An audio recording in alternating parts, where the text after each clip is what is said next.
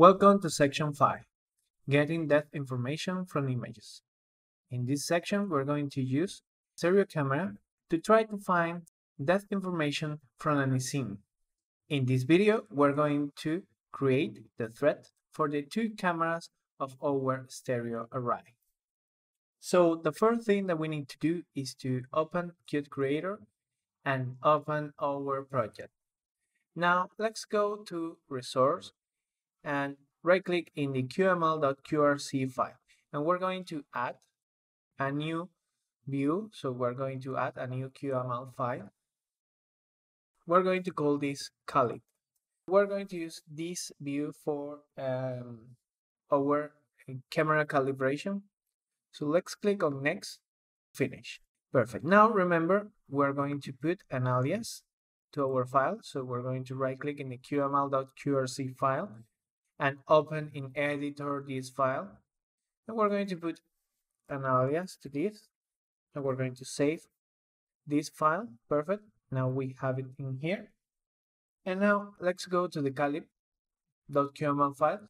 We're going to erase this. I'm going to speed up this thing a little so I want to copy the upper part of the show video view in here. I'm going to reuse this code and I want to erase this connection and this property.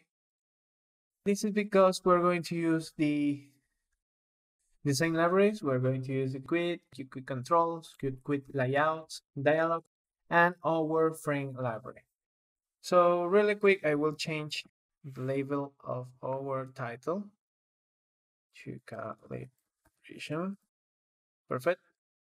And once we have our view set, we are going to start by defining some the elements we're going to show. So first, I want to create a row layout. And this row layout with the with parent. And this will be 60% of the parent. Okay. And we're going to anchor the top to the bar at the bottom. But and in here we're going to show two images, one beside the other. And that's because we're going to calibrate our cameras at the same time. So we want to show the video input from the two cameras, one beside the other. So I will copy this to speed up the process because I don't want to lose too much time in the QML view. I will copy this in here and let's check it out. We want to create a column and it will have the half of the width, the row layout. We will put an image in here the same way we did in the previous views frame. We're going to use the same concept in here and we're going to put two of these one beside the other remember this is a row layout perfect and now we need to put at the bottom buttons that we're going to use to start the calibration and to stop the calibration process. I'm going to copy these two buttons too. We're going to create a row layout. We're going to put an ID. We're going to center it in the parent horizontal center. We're going to anchor it to the bottom of the parent and we're going to create the calibrate button and the stop button. So perfect. So now that we have this view almost ready, let's go to the show video. And here we're going to add a new button. So first, let's put an ID in here. I'm going to call it video button like this. And now I'm going to copy this. Call it button. We're going to put your video we're going to change that to calibrate. Perfect. And in here we're going to call the calib view.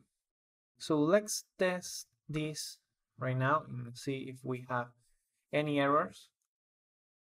So perfect. We have calibrate and we lose the other button. Let me see.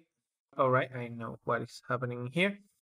We are overlapping these two buttons because they both anchor to the or were anchored to the image button so we change the anchoring here too I forget about that. Now we have our three buttons.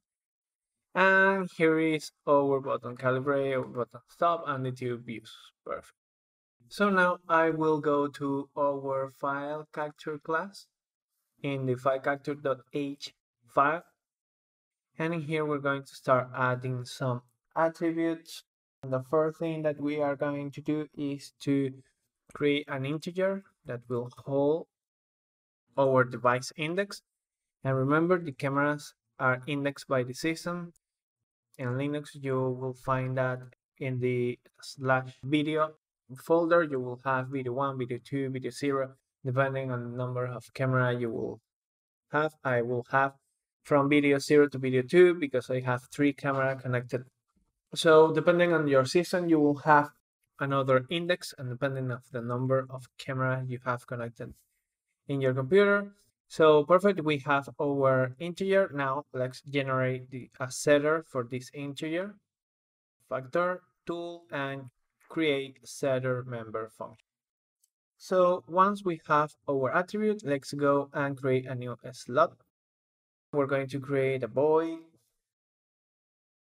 open camera by num, and we're going to receive already. So we're going to open camera by num. Perfect. And now we're going to refactor and add the definition in our file capture CPP. Okay, now that we have our we have our function here. Now let's go and search for the open camera because the same and we're going to change two things. The first thing is that we're going to put a key to put in here device. Sorry for this if okay. And the while we're going to resize this calibration will be a really intensive process. So we want to, or I want to speed up the things a little so you can see the uh, calibration process. My machine doesn't die trying. So I will resize this and hope for the best. I hope this doesn't or alter the result of the that information at the end. And we're going to resize our frame to arbitrary number. You don't have to do this. I am doing this because I want to show you really quickly the process. So perfect. We have this and now we have an open camera by num. Perfect. Now I want to go to the thread manager class in here. Perfect. And we're going to um, create new Q_INVOKABLE function that will be run camera and we're going to receive. And now let's generate our definition again with our refactor tool. Perfect, like this, we have it. And the first thing I want to do is to set the device, device, to pass the device, perfect. And now I want to grab all the, put in here, and I want to change this to, to open camera by num. Perfect. And now we have our thread. But we need to create two threads for this. So the thing that we need to do is go to the main.cpp file. And here we're going to create two new thread managers. First one will be camera thread one. And the second one will be camera thread. Two perfect. And we're going to expose those to our QML environment. So I will copy this really quickly and I will expose the camera thread 1 and the camera thread 2 really quickly.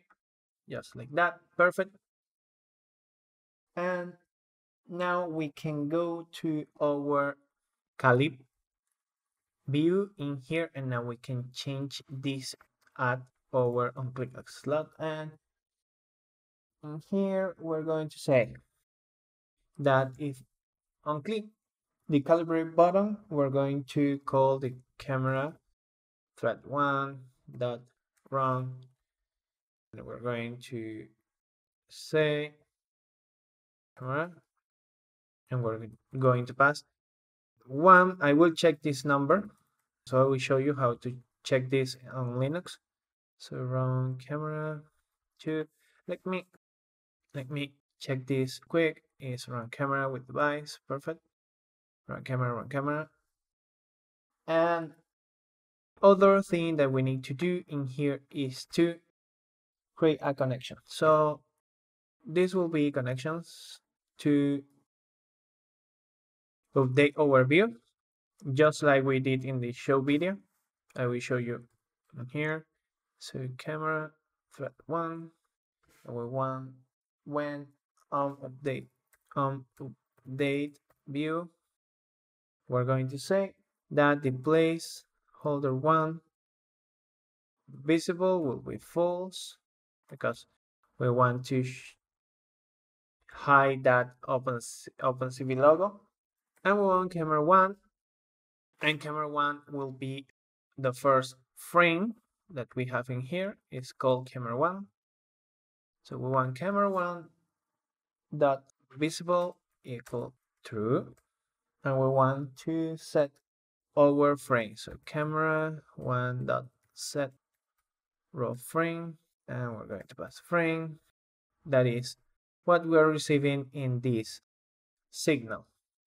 The view from our thread manager perfect. Now we are going to do the same but with placeholder 2 the camera 2 camera 2 perfect. So let's check it out. I will show you. So if we go to the show video and we go to the beginning we will see connection. Video thread on debut we're going to set the raw frame for the select image frame object that we have in this view. Is the same here only that we are doing the turn invisibility bar in this connection at the same time.